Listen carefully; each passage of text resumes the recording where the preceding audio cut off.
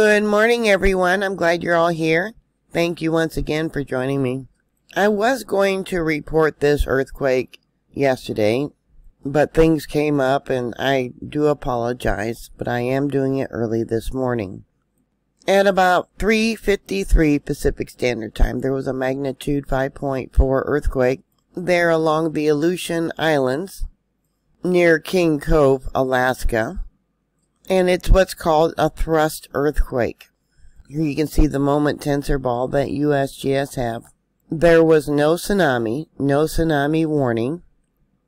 A thrust earthquake is where one side of the fault zone rises up over the other and the other side stays stationary. Thrust earthquakes are the worst type that you can have. Here's an image of the earthquake wave, the seismic wave. Interestingly, there was no foreshock and no aftershock since then. This was a subduction earthquake, an area they consider the Aleutian subduction zone, an area where the Pacific plate subducts under the North American plate. Here's the location of that earthquake. And I'll bring it out for you a little bit.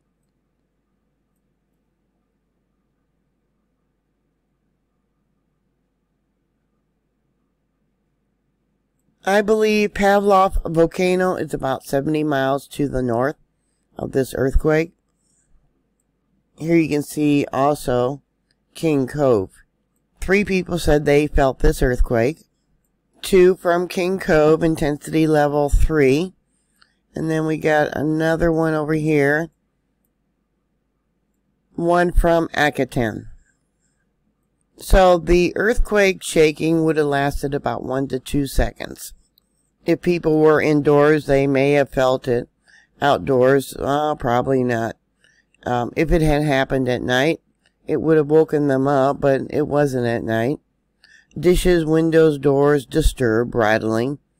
Walls making creaking sounds. Sounds um, or sensation like a heavy truck striking a building.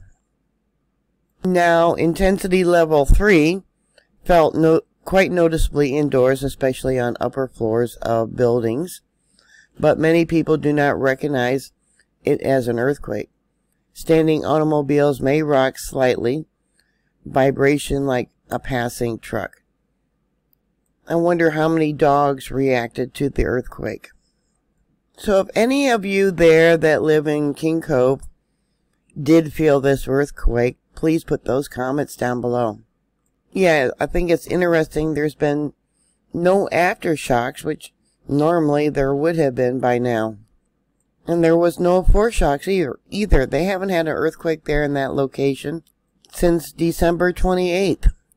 Originally, USGS had this listed as a uh, 5.1, and then they upgraded it to a 5.4, probably because of the uh, shake reports. So please put those comments down below. Thank you very much for watching. Thank you for subscribing. Please stay safe, and I'll talk to you later. God bless you.